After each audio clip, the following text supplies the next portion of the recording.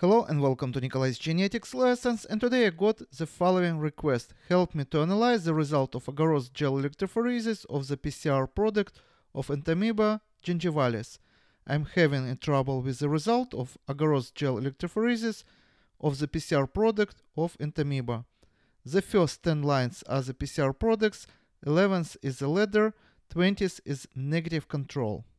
Let's take a look. First of all, according to this picture, we see that the ladder didn't separate. So the bands here basically are not visible. So I would recommend to increase time and decrease voltage.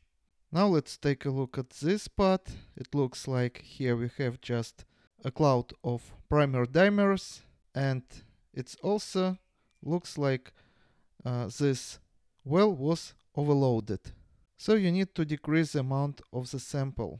And as I said previously, this smiling faces here is indication that uh, voltage was set too high and time was not enough to separate bands of the ladder.